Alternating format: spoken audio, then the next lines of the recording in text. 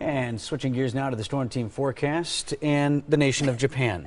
Jesse, why are we looking at Japan today? New country record, Right. 105.8 degrees. That was on Monday, and of course, uh, when we're talking They're stealing about, our heat? Basically, I mean, they're talking record highs in Australia as well.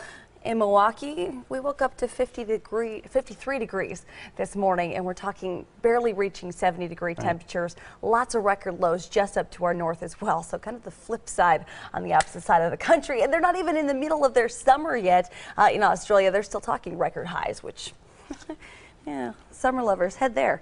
Take a long, expensive trip, 13 hour plane ride. Yeah. Otherwise, you know, fall lovers loving this. It was a good bonfire night last night. Look at these cool start temps, though. Man, we had record overnight low temperatures up to our north. Like I said before, Rhinelander, 34 degrees was the new record uh, to start off this morning. Merrill, around 34 degrees as well. Stevens Point broke the record at 36 degrees. Antigo, Manitowoc, and Appleton all tied the record coldest start to the morning uh, for the state in history. Now, at least we're not starting off in the 30s. We didn't have to talk about frost, thankfully, but overnight lows still were crisp. 43 this morning in West Bend and 43 in Port Washington. We were at 53 in Milwaukee, 53 in Racine, but a lot more 40s than I'd like in August. We are talking 80s though later on.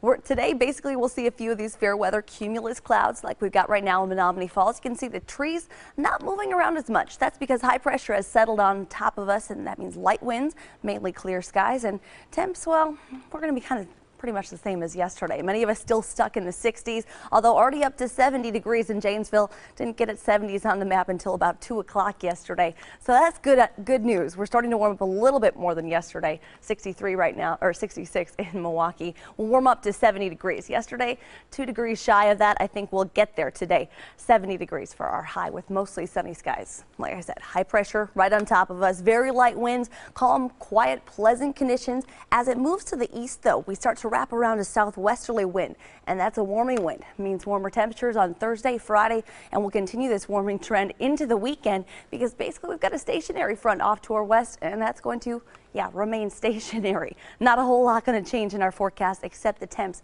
are going to start to take on upward today. The next warmest day out of the week, we continue our trend upward as we go throughout the rest of the work week. 71 right now, or for your high today in Waukesha. 69 though, still a little cool in port.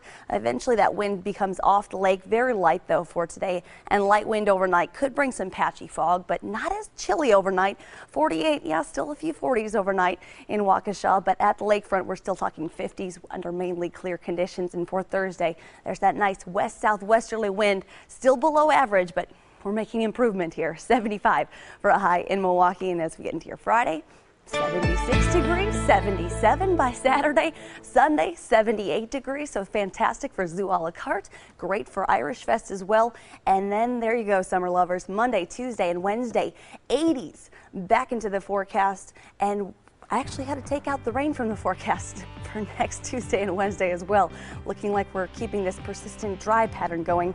Water bills going to start to go up. We'll be back.